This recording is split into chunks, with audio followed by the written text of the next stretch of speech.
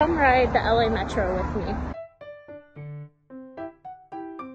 So this little tap card is my specific card for the LA Metro. It means I have reduced fare because I'm disabled. You have to sign up for this and unfortunately I think you do also have to get like a doctor's signature for it. But this really helps me a lot. It has my photo on it. It's great.